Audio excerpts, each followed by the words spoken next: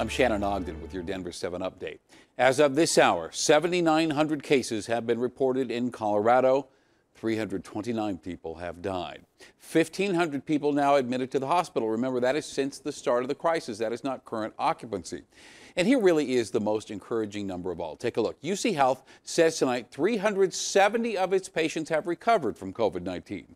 Another 250 continue to receive care within that hospital system.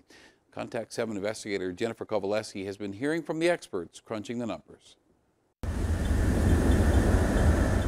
As the numbers and data keep coming in, there appears to be light at the end of the tunnel. We're still seeing some increases, but perhaps things are starting to flatten. But we're not in the clear yet. Now is not the time to go out and have a giant birthday party or go hang out with all your friends. Elizabeth Carlton is with the Colorado School of Public Health now is the time to kind of hunker down and not lose this giant investment we have made. She's part of an expert team crunching the numbers to help the state understand COVID 19. Do you still believe, based on your data, that we haven't reached the peak here in Colorado?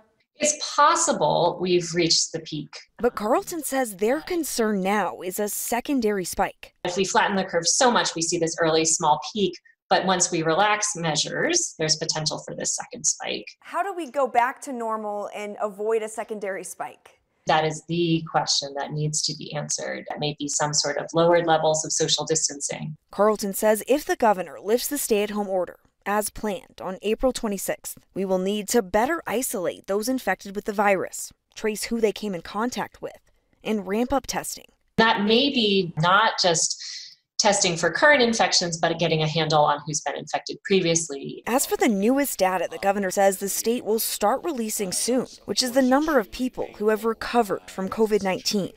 Carlton says that information is also key. The more people we have that are recovered and assuming that we have some sort of short or long term immunity to the disease, that means those people can't get infected again. Crucial data in the days and weeks ahead that will shed further light on the outbreak in Colorado. Some needed optimism there. Thank you for watching this Denver 7 update. Make sure to download the Denver 7 app for your smartphone. Get breaking news and alerts around the clock. I'm Shannon Ogden.